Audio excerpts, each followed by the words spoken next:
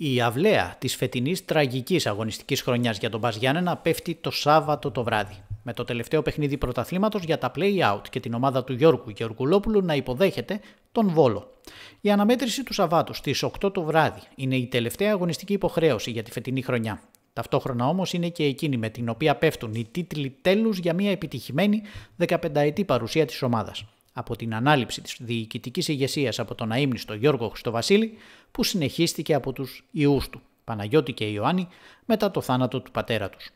Η χρονιά δεν κύλησε όπως οι ίδιοι ήθελαν, ούτε φυσικά όπως ονειρεύονταν οι χιλιάδες φίλοι του ΠΑΣ που αγωνιούν για την επόμενη μέρα, με την ομάδα να βαδίζει σε αχαρτογράφητα νερά και ενώ παραμένει ασαφές το διοικητικό τοπίο. Η οικογένεια Χριστοβασίλη έχει ανακοινώσει επισήμως την πρόθεσή της να αποχωρήσει. Πλην όμως, μέχρι στιγμής τουλάχιστον, πέρα από φιλολογικό ενδιαφέρον, δεν υπάρχει καμία επίσημη πρόταση για την πώληση των μετοχών της ΠΑΕ και την αλλαγή σελίδα στα διοικητικά δρόμενα.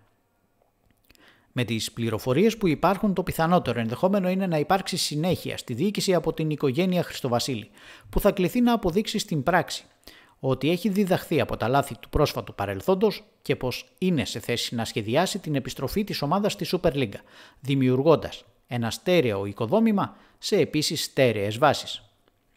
Από την άλλη είναι γεγονός πως υπάρχουν πληροφορίες για παρασκηνιακές διεργασίες, οι οποίες όμως δεν έχουν φτάσει στο προκείμενο, που δεν είναι άλλο από τα οικονομικά ανταλλάγματα.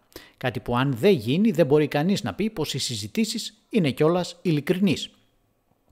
Αν υπάρχει κάτι θετικό όμως, αυτό είναι πως σε αντίθεση με ό,τι διακινήθηκε για προφανούς λόγους δημοσιότητας το τελευταίο δίμηνο περί ενδιαφέροντος συγκεκριμένων επενδυτών, αυτό είναι πως εκείνοι που πραγματικά δείχνουν ενδιαφέρον, χωρίς να έχουν καταθέσει πρόταση πάντως, δεν έχουν επιτρέψει να διαρρεύσει το παραμικρό όνομα. Και αυτό, για όσους γνωρίζουν τουλάχιστον από επιχειρηματικές συμφωνίες και κινήσεις, είναι ένα θετικό σημάδι.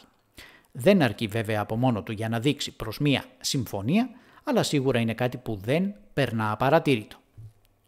Η ομάδα του Πας υποδέχεται τον Βόλο σε ένα παιχνίδι χωρίς κανένα αγωνιστικό ενδιαφέρον. Με τους Γιαννιώτες να θέλουν πάντως να κλείσουν με νίκη τη χρονιά, που αν το καταφέρουν θα είναι η δεύτερη συνεχόμενη στο πρωτάθλημα. Κάτι που δεν κατάφεραν να κάνουν όταν έπρεπε.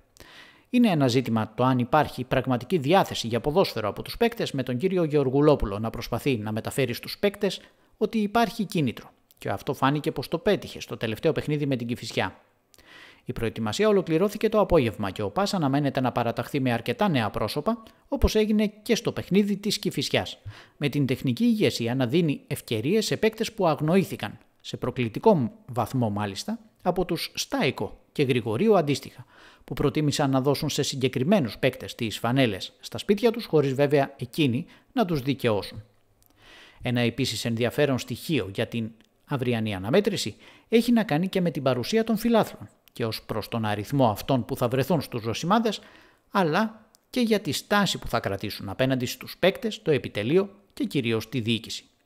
Το κλίμα των έντονων διαμαρτυριών προς την ΠαΕ οδήγησε την κατάσταση στα άκρα στη διάρκεια του πρωταθλήματος. Προκάλεσε όμως και την απόφαση της οικογένειας Χριστοβασίλη να ανακοινώσει την πρόθεση αποχώρησης από την ΠαΕ.